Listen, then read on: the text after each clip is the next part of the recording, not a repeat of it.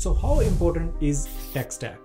There is a lot of discussions going around all over the internet, like which technology you should use to build modern day application and which will get you the job or which will have the most chances to get you a decent tech job. So in this video, we're going to talk about what is a tech stack. I mean, in simple terms, a tech stack is a stack of technologies you use to build applications. That's it. You can call it mon Monstack, LAMP you can call it whatever.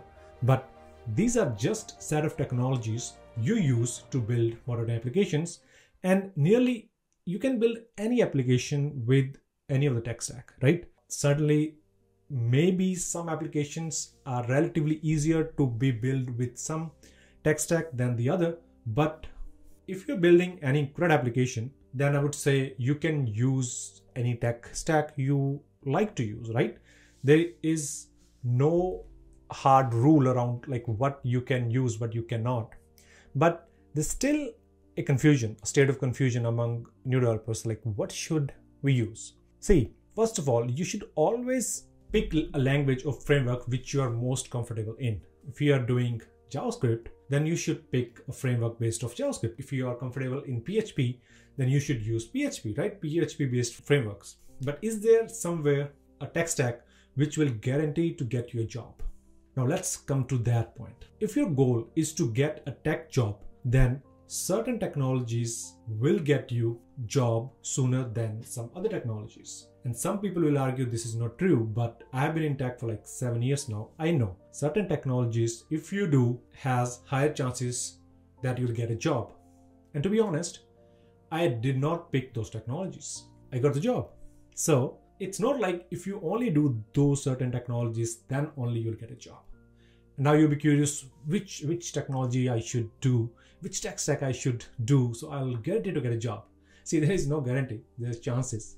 If your sole goal is just to get a job, I would say, I would recommend you to do Java or C Sharp. That's it. If you come to me and say, I don't care, like you tell me one language and I'll do that, which will give me the highest chance of getting a job, then I'll say Java because there are so many code bases in modern and old companies which are still using Java. So you can do that. I did not want to work in a Java framework or Java language. So I never learned that. And I've been employed since last five, seven years. It's totally up to you. If you feel like you can do anything, yeah, do like C Sharp, Java, .NET, all those technologies. I'm not against them. I just don't like them. I like JavaScript. I like TypeScript. I like Python. I try to build application in those tech stack. But if you say that the tech stack one is better than the other, I will not be agree with that. Yes, there are certain technologies which has higher chances because there, there are a lot of softwares already written in those languages. If your goal is just to get the job, then please pick those language. But if your goal is to enjoy your job, is to gain experience, is to learn new things, build new things, then you should pick a language you are most comfortable in. So just to end this debate, there is no better. There is no better tech stack. There are languages which, if you search on LinkedIn or Indeed, you'll see a lot of results, a lot of people hiring, but I personally don't like those technologies. I don't like Windows. I use Mac or Linux, right? There are lots of Windows laptops, but I would want to work on a Unix based system. That's my personal choice.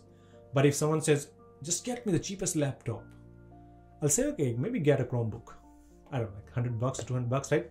Or get Windows, cheap Windows or, or Linux. I don't know, like, but I try to do things which I enjoy most because I know I will be doing that thing long term. I don't make my decision in short term basis.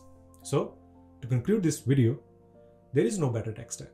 The only tech stack which is better is one which you are most comfortable in. Thanks a lot for watching.